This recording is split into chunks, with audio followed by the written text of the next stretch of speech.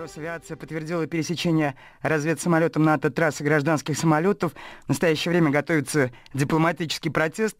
По данным ведомства, в пятницу утром один из двух натовских самолетов-разведчиков хаотично летал над Черным морем, опасно приблизился к пассажирскому лайнеру «Аэрофлот». Он следовал из Тель-Авива в Москву. На борту находились 142 человека.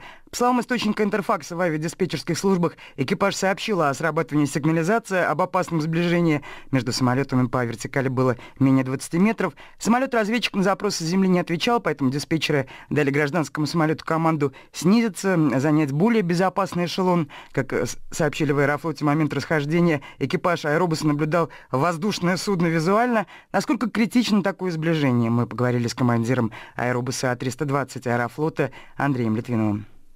Это конфликтная ситуация в воздухе. Когда близко самолеты приближаются, сложно сказать, 20 метров или 200 метров. Это же надо дождаться расследования. Но в любом случае, если самолет диспетчер дал изменение эшелона, то значит ситуация была конфликтная. Это опасная ситуация в воздухе. Раз. Во-вторых, при такой ситуации срабатывает система ТИКАС на наших самолетах. Там стоит система опасного сближения, так чтобы было всем понятно. И при конфликте в воздухе эта система срабатывает, и надо либо в зависимости, что эффективнее, либо набирать высоту, либо наоборот снижаться, для того, чтобы избежать столкновения. Такие случаи были. Это над Баденским озером, когда Ту-154 башкирский столкнулся с Люфтганзой. Как раз это тот случай. Поэтому это очень опасно и требующее разбирательств на международном уровне.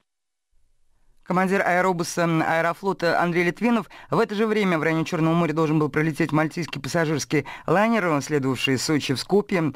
В Северной Македонии его маршрут также пришлось изменить. Росавиация планирует выразить протест из-за участившихся полетов военных самолетов НАТО без радиосвязи у границ страны, поскольку это, это угрожает безопасности гражданских судов. В Черном море комментирует зав. Центром глобальных исследований международных отношений дипломатической академии МИДа Вадим Козюлин.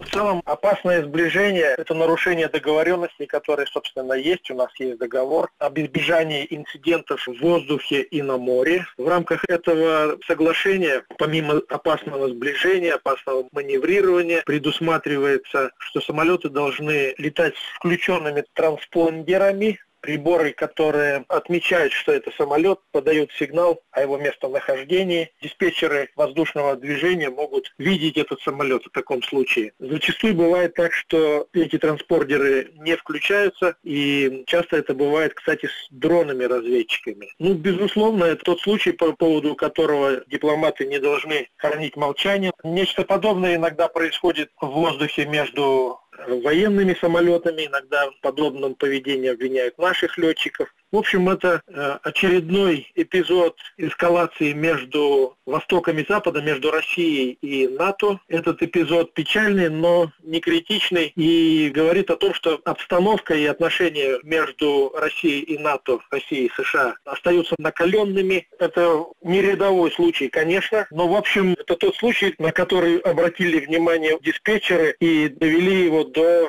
уровня российской дипломатии, что случается нечасто заведующий Центром глобальных исследований Дипломатической академии МИДа Вадим Козюлин, в ноябре российская Минобороны сообщала о повышении активности НАТО и США в регионе. Ранее российские зенитные ракетные войска следили перемещение трех самолетов разведчиков НАТО над акваторией Черного моря.